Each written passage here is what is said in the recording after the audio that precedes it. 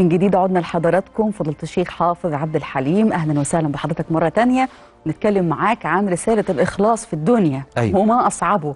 أيوة. لأنه دلوقتي زي ما قلت لك قبل الفاصل في مواقع التواصل الاجتماعي في مغريات كتير جدا في حياتنا. كل واحد فينا عايز يوصل للأفضل عايز يمتلك الأحسن آه، عايز يتباهى بأنه مظهره أفضل حياته أفضل. فبيبقى المعركة صعبة شوية. أو أيوة. إنك تبقى مخلص بقى شيء آه، صعب أكتر من الأول. فإزاي ممكن الإنسان يدرب نفسه على الإخلاص وسط كل مغريات الحياة دي؟ مش عارف السؤال صعب شوية. مركب. آه لا بس ما شاء الله يعني لأنه هو المغريات كتيرة إحنا فعلاً. هنجاوب إجابة مركزة شوية يعني آه في في القرآن الكريم ربنا أنا قلت لحضرتك قبل الفاصل عن آه، من أراد الدنيا. فربنا بيقول هيديله اللي هو عايزه في الدنيا. طب اللي عايز الآخرة؟ قال ومن أراد الآخرة وسعى لها سعيها وسعى لها سعيها. وهو أصلا بيتحرك ناحية الآخرة. اللي بيتحرك ده هل ما فيش أي معوقات بتقابله؟ أي إنسان أكيد. بيتحرك في أي واحد اتجاه في معوقات. فكذلك الأمر من أراد ومن أراد الآخرة وسعى لها سعيها وهو مؤمن فأولئك كان سعيهم مشكور. يعني مقبول من الله سبحانه وتعالى لأنه هو قدر يتغلب على الصعوبات اللي بتواجهه هو في أثناء سيره ورحلته إلى الله سبحانه وتعالى. نعم. يبقى ده الأمر الأول إن أنت هتتغلب على بعض المعوقات. إن إحنا نضع في أذهاننا إن الإنسان ممكن يبقى بيعمل ولو خالط عمله أي رياء أو مصلحة لدى البشر فعمله ده هيحبط. وربنا سبحانه وتعالى تكلم عن ناس بيظنوا من نفسهم إن هم مخلصين وهم محسنين وهم أحسن الناس وأتقى الناس. لا دي مرعبة جدا. قال قل هل ننبئكم بالأخسرين أعمالا الذين ضل سعيهم في الحياة الدنيا هو وهم يحسبون أنهم يحسنون صنعا هو مفكر نفسه عايش إن أنا اتقى واحد في الدنيا وان أنا أكثر الناس إحسانا وأكثر الناس إيمانا وأكثر الناس إخلاصا وأكثر الناس جواد وأكثر الناس كريم. وأنا الوحيد اللي بفهم والعياذ بالله ده أشر خلق الله سبحانه وتعالى. إنه بيلقى الله سبحانه وتعالى وقلبه مش وقلبه في شرك مع الله سبحانه وتعالى بكل هذا.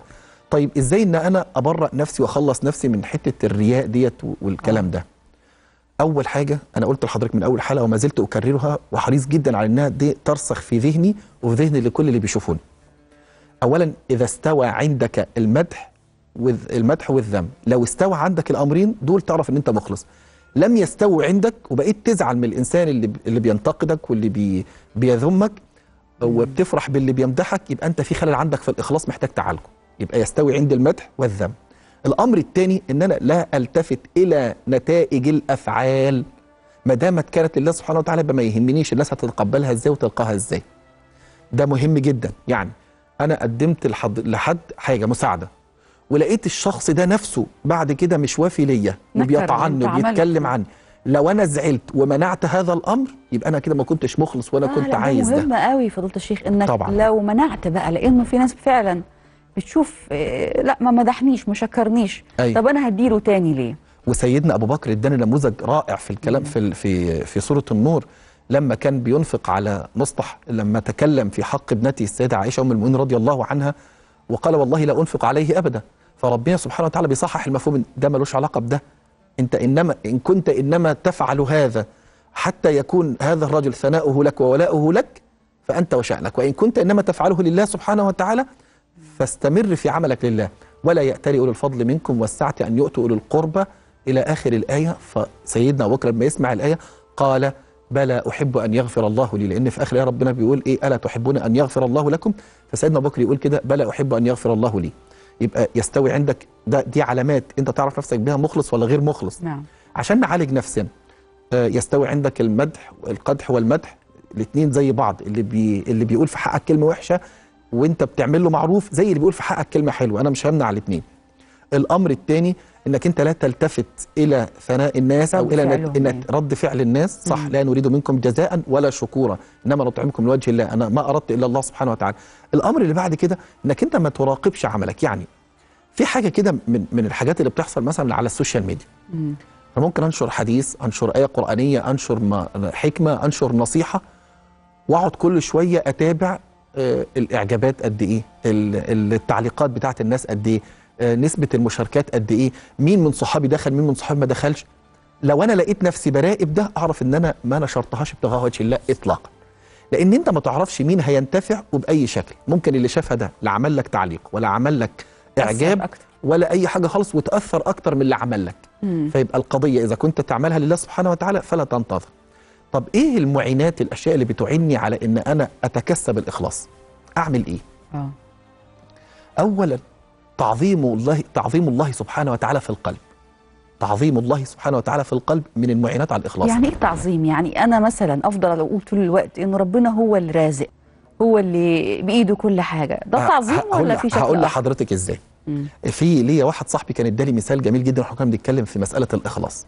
فبيقول لي تخيل أنت في حد آه، يعني ميسور الحال وعارف إن هو عزمك وقال لك اتصل بيك وقال لك أنا مستنيك على الغدا آه، النهارده.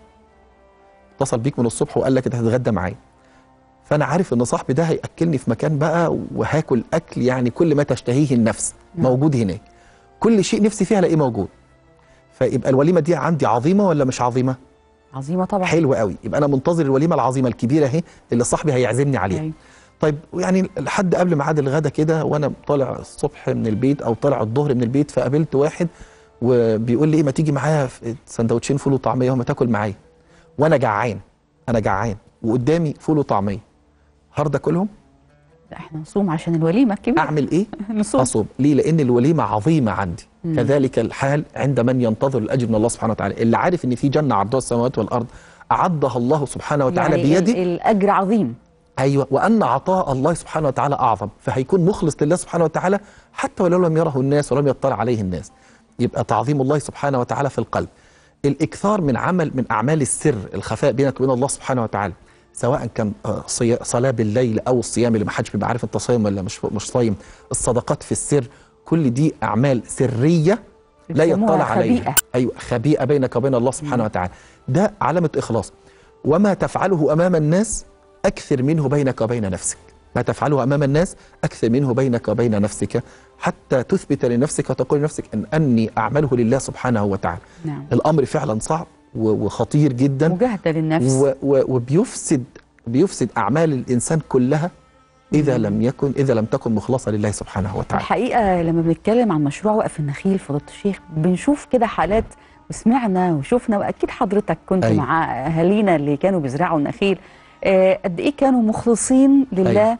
إنه شايفين في حياتهم أهم حاجة الجنة. مم. آه، وفي ناس كتيرة قوي عملوا صدقات جارية من وقف النخيل. صحيح. لأنه هدفه الله أيوة. هدفه الجنة. آه يعني بيقولوا هو أنا لما أهدف للجنه ده إيه؟ يعني كده أنا مخلص ولا لأ؟ أيوه. مش إحنا قلنا من شوية تعظيم الله سبحانه وتعالى مم. وتعظيم عطاء الله. يعني أنا لما أبقى عارف أن المؤمن في ظل صدقته يوم القيامة كويس؟ وأنا متيقن بده. وبالتالي أنا بسعى ان صدقتي تكون لله سبحانه وتعالى عشان أحصل على إيه؟ على الأجر العظيم اللي عند ربنا. تخيلي معايا كده إن ممكن تكون الصدقة ديت حاجة مش حاجة مش مادية. ممكن آه، ابتسامة جبر خاطر صدقة. ومع ذلك أنا منتظر العوض من الله سبحانه وتعالى إن هو يظلني يظلني في ظل هذه الصدقة يوم القيامة. طب تخيلي أصلا باللي قدم لله سبحانه وتعالى شيء له ظل. إذا كان الشيء اللي ملوش ظل ربنا هيظلني بيه. فتخيلي لما يكون النخلة مقدمة لله سبحانه وتعالى ولها أساسا ظل يبقى كيف يكون الثواب من عند الله سبحانه وتعالى؟ ومن بعض الأمور إن في سيدة وأنا تكلمت عنها في أكتر من حلقه من من حلقة من الحلقات اللي, اللي كنا بنتكلم فيها عن وقف النخيل ولا أنفك وأتكلم عنها. نفسي الدنيا كلها تسمع أحوال بعض الناس. يعني دي واحدة أنا عرفت حالها. لما قاعدة مع أولادها بتقول لهم إن أنا عملت نخلة وزرعت نخلة ليا عند ربنا. مم. فأحفادها زرعت نخلة إزاي ليك عند ربنا؟ فقالت لهم إن أنا ز- اشتركت في صك النخيل مع المؤسسة الفلانية وذكرت مؤسسة نبض الحياة بتحكي لنا الكلام ده. فبالتالي أولادها حبوا الموضوع. وهو فده ده الخير اللي هو بيدوم. ده الخير اللي من آه، وراء الإخلاص. اخلاص لأن اللي هو بيجي الواحد الثمرة بتاعته. فعلا دي ثمرة الإخلاص الابن اللي بيكمل بعدك رحلة صح. العطاء والخير. أنا بشكر حضرتك شكرا جزيلا فضيلة الشيخ حافظ عبد الحليم نورتنا. وربنا يرزقنا الإخلاص. اللهم آمين يا رب ربنا العالمين. يرزقنا الإخلاص أعزائي المشاهدين. السلام عليكم ورحمة الله.